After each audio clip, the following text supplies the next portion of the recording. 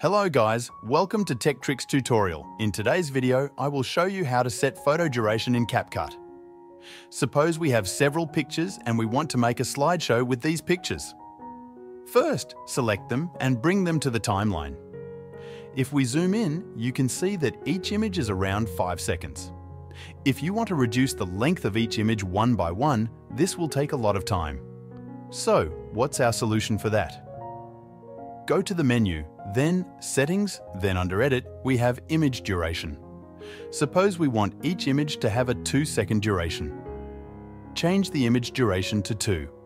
Also, if we click on this drop-down, we have another option like frames. If we choose this frame instead of seconds, the picture will follow the frame as its duration count. Our frame rate is 30 FPS, so let's put 15 and save it. Now each image will take half a second because a second has 30 frames. Now select all of them and bring them to the timeline. We have five images, so that will be around two and a half seconds, so two seconds and 15 frames. That's how easily we can change the duration of imported images in CapCut.